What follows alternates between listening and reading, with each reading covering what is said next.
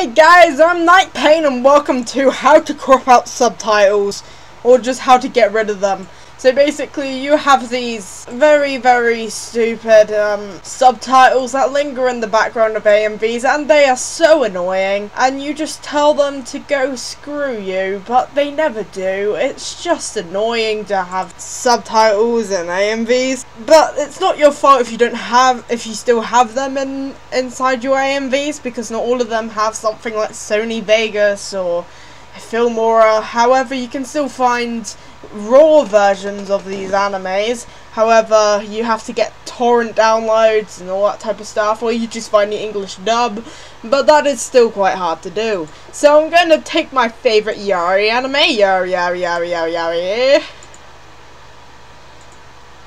And then, of course, as you can see, this has subtitles in it. This doesn't have a dub version. Well, at least not yet. And yes, it's a Yuri, as in girl on girl action. La la la la la la la.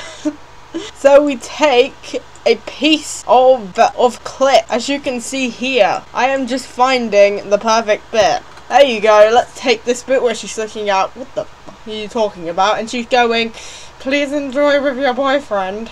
So there's this little bit right here that it's um the uh, square thingy with the thingy and the thingy. I don't know what to call it, but it's the event pan and crop. So if you go over here, click on your video, this will come up. You click on it, and then you ha will have this very, very, very, very, very looking complicated type of thing. But all you have to do to crop them out is to click this thing here and move it this way. Then look! Ta-da! You cropped out subtitles. Congratulations. But also, I suggest that you also somehow find the dubbed version because then you can have the whole screen. However, it doesn't really matter. It's not like anybody's really gonna notice, or they're still they're too busy looking at the effects to actually notice that the screen has been cropped. But anyway, now you can also save as a preset, so I'm going to write down NT um, R subbed 1 and then save it as a preset so I can reuse it. So if I go over here and then I pick this up, I can pretty much do this and then do NTR subbed and it'll cut it out for me. There you go. Very easy. It's not too tricky. You guys should do it. Bye bye.